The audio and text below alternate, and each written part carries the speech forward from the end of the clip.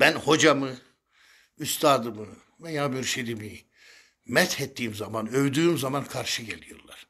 Siz niye övüyorsunuz? Allah'ın Resulü övmüştür. Allah'ın Resulü methetmiştir. Hazreti Peygamber aleyhissalatü vesselamın bir başka insanı övdüğünü düşünebiliyor musunuz hiç? Hiç aklınıza gelir mi böyle bir şey? Allah'ın Resulü'nden daha faziletli, daha üstün kimse var mı? Ama Allah'ın peygamberi övüyor, methediyor. Nesinden dolayı methediyor? Salahatinden, takvasından dolayı övüyor.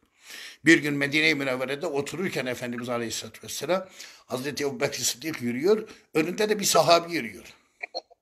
Bir sahabi onun önünde yürüyor. Allah'ın Resulü kalkıyor.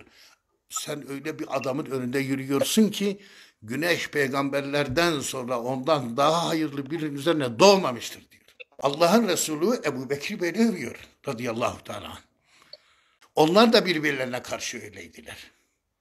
Ya Hazreti Ömer, ya Hazreti Ali, ya Hazreti Osman radıyallahu anh.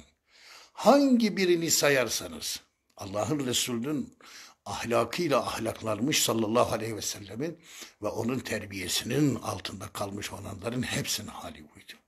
Bir gün birisi Hazreti Ömer'in hilafeti döneminde gelir, Hazreti Ömer'in huzuruna girer radıyallahu teala ey bu ümmetin en hayırlısı der. Hakikaten o gün için Hazreti Ömer ümmetin en hayırlısıydı. Hazreti Ömer bakar sen de Ebu Bekir'i gördün mü der. Adam durur evet gördüm ya emir müminin. Gördüysen nasıl böyle söylersin? Allah'a yemin ederim ki Ebu Bekir'in bir tek saati Ömer'in ve Ömer'in bütün ailesinin ömründen daha hayırlıdır Allah katında. Bakın salih insanlar övülüyor. Salih insanlar methediliyor.